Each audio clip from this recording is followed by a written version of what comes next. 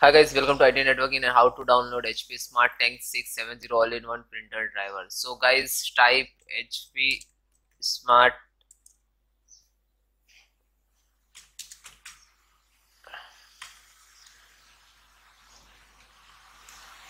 Tank space sense 67 driver.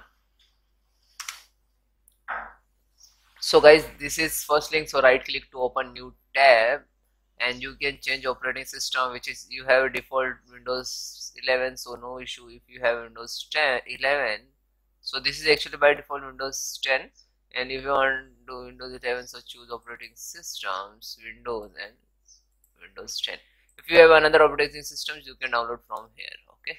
All operating system are for for android chrome ios or linux and okay.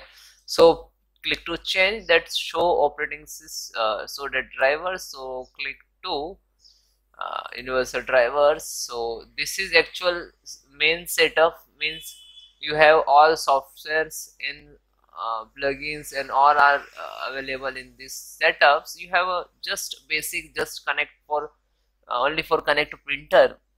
So you can use this one. This one is 91 and 99 ambient. This is 400 MB okay? So you can this one download no issue. So same setup both are same just automatically install. This setup is installing downloading and please wait few minutes to how to install I show you. So guys click this link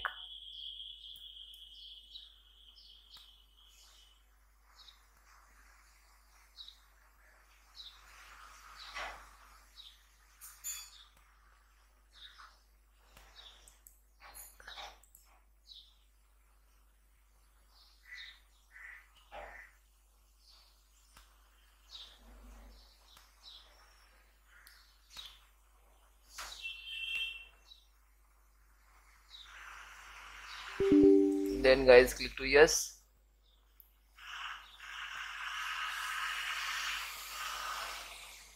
So guys click to continue. There are uh, three type to install four type to install wire wireless wire usb and connect later. If you have just install driver so you can select this one. And if you have a, uh, printers to connect so select this one and this is wire and this is wireless okay if you uh, wireless so you do you know the ip address? And uh, that ip address is uh, enter that uh, uh, this software so automatically to connect okay? Yeah. Uh, needs to connect and if you have not wireless if see the status.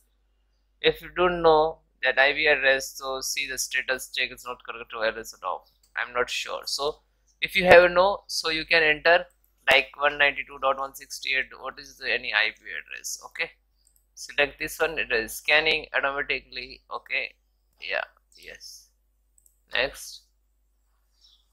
Your network fully scan this software and detect any all that hp printers show the connect in this software. Okay. Yeah like this. Okay. If you have wired so same process.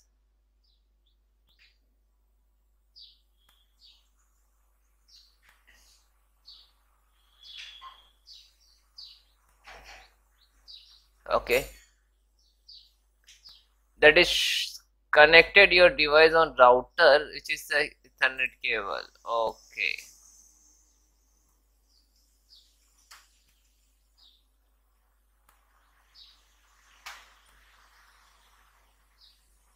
yeah. The same guys what is the ip so do you know how to find the printer ip so you can install uh, ip scanner. So which is install your system. Then will scan so you can find easily. This is actually ip scanner. So you easily find out ip and then guys you enter that ip okay.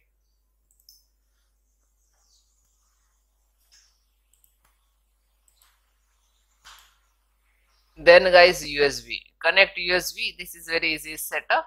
So when you connect and you can have a skip option so automatically install. Okay guys thank you. Bye bye take care. Have an issue please comment my will